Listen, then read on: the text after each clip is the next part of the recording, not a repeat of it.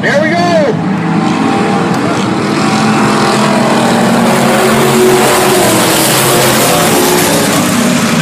Got a little bit of bump on number four car.